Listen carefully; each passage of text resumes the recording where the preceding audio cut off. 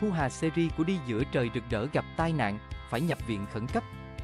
Thông tin Thu Hà series, nữ chính phim Đi giữa trời rực rỡ phải nhập viện do gặp tai nạn khiến các fan lo lắng.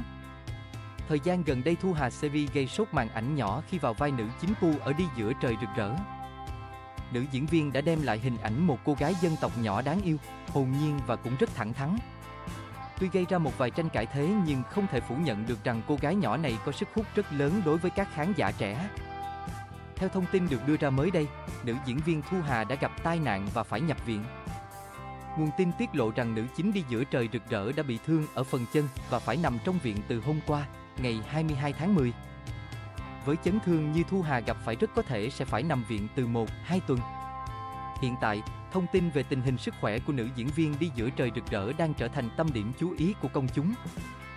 Mới đây, Thu Hà series đã xuất hiện trên trang cá nhân. Nữ diễn viên chia sẻ lại bài đăng tiết lộ cô đang bị chấn thương ở chân.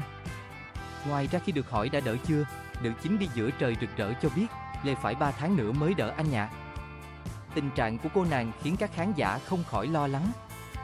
Nhiều người đã gửi lời chúc sức khỏe và hy vọng Thu Hà sớm bình phục. Tuy nhiên bên cạnh đó, cũng có không ít khán giả lo lắng cho số phận của phần hai bộ phim Đi giữa trời rực rỡ. Hiện tại, nữ chính Thu Hà đang bị thương, liệu cô nàng có thể tiếp tục đóng phần 2 hay không còn là ẩn số lớn.